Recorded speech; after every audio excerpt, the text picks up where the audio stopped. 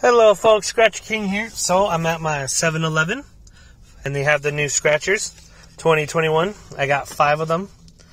I'm doing this video because I'm not going to do them on camera because I never went on camera. So I got five of those. One of the new $10 ones.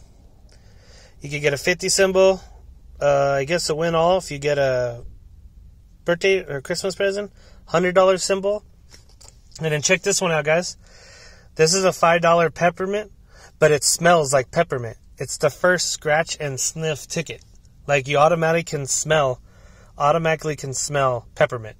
Like they spray some kind of fragrance on it and it's peppermint. This one uh, is candy cane symbol, win $500 instantly. Oh, wow. Uncover a 5X or uh, what is that? I don't know what that is. I think that's things things you hang and you kiss underneath. I can't think of the name, but win all symbol. So, yep. And then the 2020s are going to be gone, so they brought in 2021s. I never had any good luck on 2020s. I hate those tickets. So hopefully these will be better for me. If you uncover a 2021 symbol, you win the prize.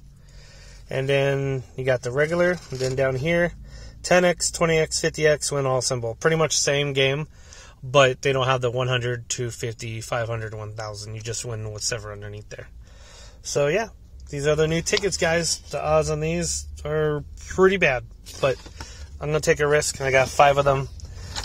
I got the ten dollar one and a five dollar one, and I'm not doing on camera because I don't win. So hopefully I can win on these. All right, folks. Thank you so much for watching. Scratcher King out.